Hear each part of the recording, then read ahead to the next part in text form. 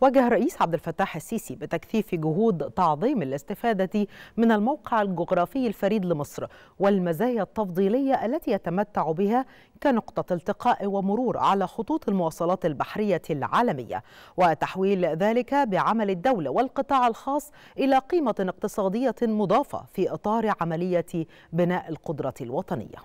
عقد السيد الرئيس عبد الفتاح السيسي اجتماعا مع الفريق أشرف عطوة قائد القوات البحرية.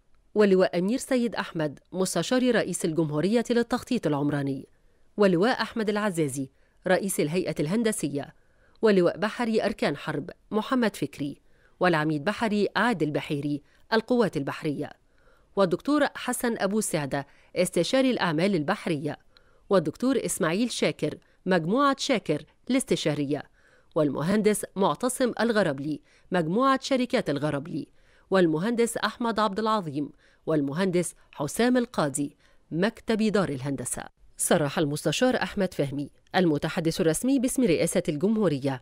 أن السيد الرئيس اطلع خلال الاجتماع على موقف الأعمال الجارية لتشييد وتطوير عدد من الموانئ البحرية خاصة موانئ العريش والأدبية وأبو قير وجرجوب. وفقا لأحدث التقنيات الهندسية والإنشائية والبيئية. بما يشمل حواجز الأمواج ومحطات تداول الحاويات والأرصفة والمحطات متعددة الأغراض والمناطق اللوجستية والسياحية العالمية وذلك في إطار المشروع القومي لتطوير الموانئ البحرية على مستوى الجمهورية.